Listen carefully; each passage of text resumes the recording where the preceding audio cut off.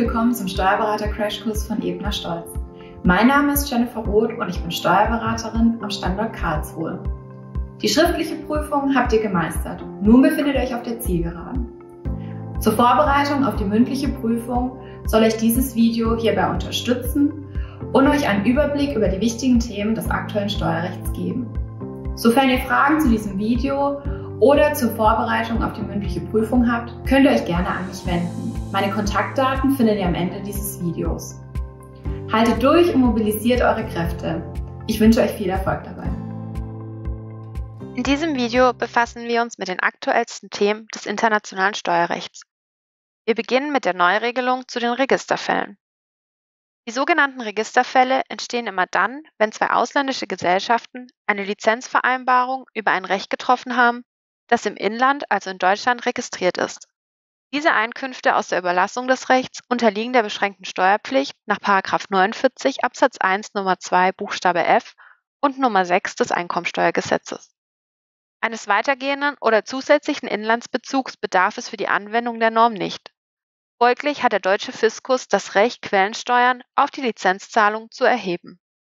In Bezug auf die Steueranmeldungs- bzw. Deklarationspflichten sieht das BMF-Schreiben vom 6. November 2020 Folgendes vor.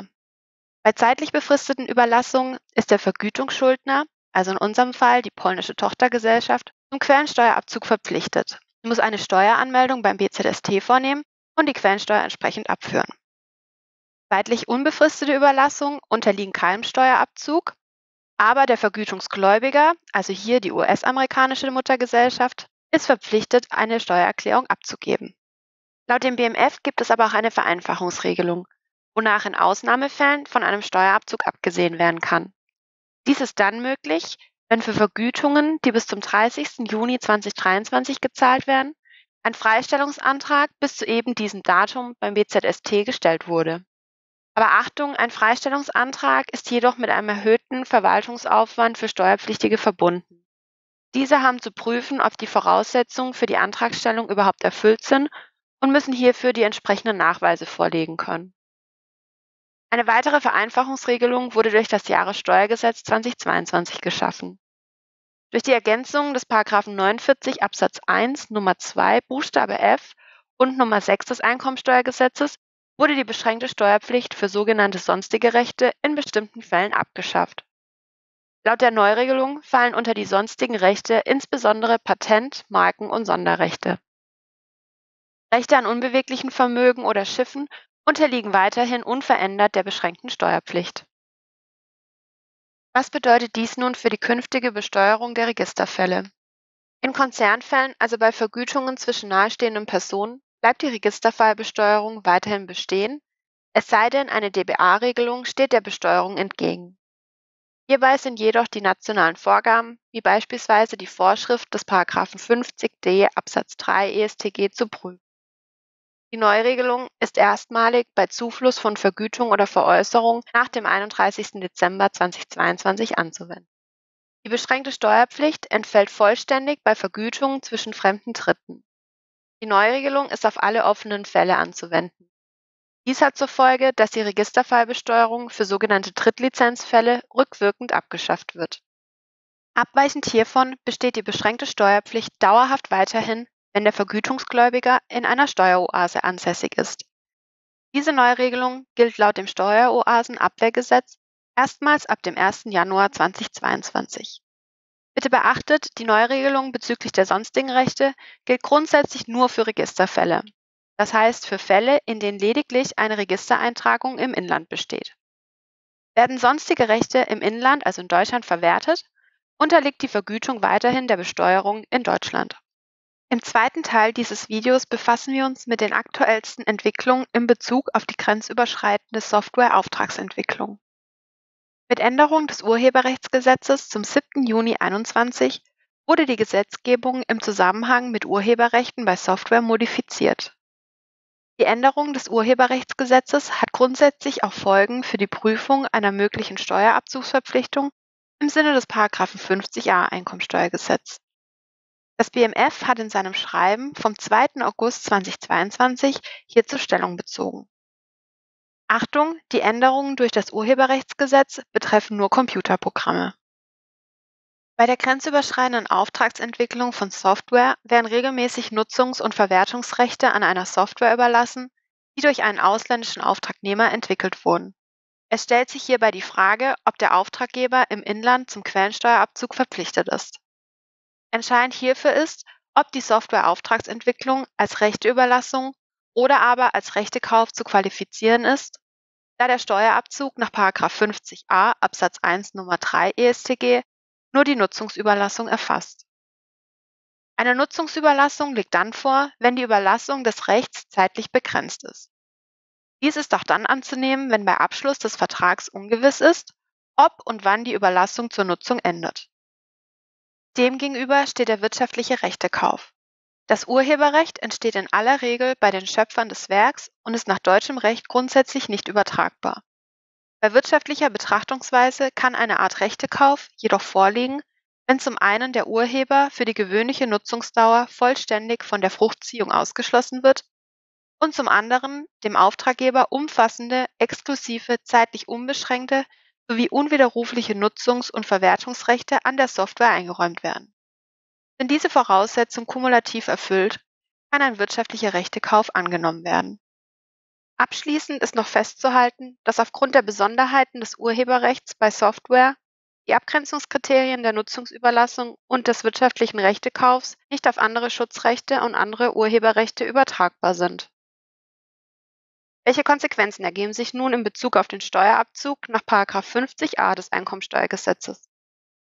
Nutzungsvergütung für die zeitlich befristete Überlassung bzw. urheberrechtlich geschützte Rechte unterliegen, wenn sie an eine nicht im Inland ansässige natürliche oder juristische Person bezahlt werden, dem Steuerabzug in Höhe von 15 Prozent zuzüglich Solidaritätszuschlag gemäß 50a Absatz 1 Nummer 3 in Verbindung mit Absatz 3 Satz 4 Nummer 2 EStG. Darüber hinaus sind die Grundsätze des BMF-Schreibens vom 27. Oktober 2017 zu prüfen. In Fällen eines wirtschaftlichen Rechtekaufs besteht keine Steuerabzugsverpflichtung im Sinne des 50a EStG, da es an einer zeitlich befristeten Überlassung fehlt. Sofern unter Berücksichtigung der beiden BMF-Schreiben von einer Quellensteuerabzugspflicht auszugehen ist oder aber Zweifel an der Beurteilung bestehen, sollte geprüft werden, ob im Rahmen eines Freistellungsverfahrens eine Entlastung vom Steuerabzug erreicht werden kann. Die Regelungen des BMF-Schreibens vom 2. August 2022 sind in allen offenen Fällen anzuwenden, bei denen der Abschluss des Vertrags zur Software-Auftragsentwicklung nach dem 6. Juni 2021 stattgefunden hat und auf Sachverhalte, die nach diesem Datum entstehen. Zudem ist das BMF-Schreiben aus Vereinfachungsgründen auch auf alle Zahlungen anzuwenden, die nach dem 6. Juni 2021 zufließen. Der letzte Teil dieses Videos befasst sich mit der aktuellsten BFH-Rechtsprechung bezüglich grenzüberschreitender Konzernfinanzierung. Ganz grundsätzlich gilt, um künstliche Gewinnverlagerungen ins Ausland durch Darlehensfinanzierungen eines international tätigen Konzerns zu vermeiden, müssen die Finanzierungskonditionen, wie beispielsweise der Zinssatz oder die Besicherung, dementsprechend, was auch zwischen fremden Dritten vereinbart worden wäre. Stichwort hier Fremdvergleichsgrundsatz. Bevor wir uns die jüngste BFH-Rechtsprechung hierzu anschauen, nochmal ein kurzer Überblick über die zwei in diesem Zusammenhang wichtigsten Korrekturvorschriften. Paragraph 1 Absatz 1 Außensteuergesetz schreibt vor, dass es zur Berichtigung von Einkünften zwischen verbundenen Unternehmen kommen muss, sofern die internationalen Geschäftsbeziehungen zwischen diesen nahestehenden Personen so ausgestaltet sind, wie sie unter fremden Dritten nicht vereinbart worden wären. Durch die Einhaltung des Fremdvergleichsgrundsatzes soll somit vermieden werden, dass Einkünfte einer deutschen Gesellschaft ins Ausland verlagert werden. Neben 1 AStG sind noch eine Reihe von Verwaltungsgrundsätzen anzuwenden. Die Grundsätze einer VGA sollten euch ja noch aus der schriftlichen Prüfung bekannt sein. Bitte beachtet hierbei, dass es auch zwischen nahestehenden Personen zu VGAs kommen kann.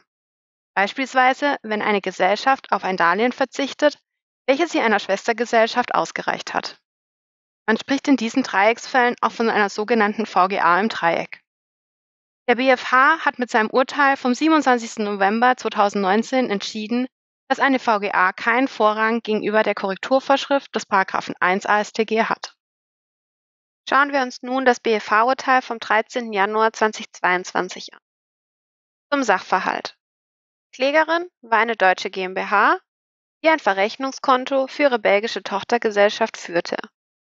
Der vereinbarte Zinssatz betrug 6% pro Jahr. Eine Besicherung wurde nicht vereinbart. In 2005 wurde ein Vertrag über einen Forderungsverzicht gegen Besserungsschein abgeschlossen. Bei der Muttergesellschaft wurde dieser Forderungsverzicht gewinnmindernd als Teilwert-AFA ausgebucht. Das Finanzamt hat die Gewinnminderung nach 1 Absatz 1 AStG außerbilanziell wieder hinzugerechnet, mit der Begründung, dass die fehlende Besicherung des Darlehens nicht fremdüblich sei. Die Angemessenheit des vereinbarten Zinssatzes hat die BP nicht beanstandet. Der BfH entschied in diesem Fall wie folgt. Hinsichtlich der Fremdüblichkeit bestätigt er erneut, dass eine Nichtbesicherung durch den Konzernrückhalt nicht kompensiert werden kann. Des Weiteren führt er an, dass eine fehlende Besicherung zwar ein Indiz für die Fremdunüblichkeit sei, für sich gesehen ist sie aber keine Tatbestandsvoraussetzung.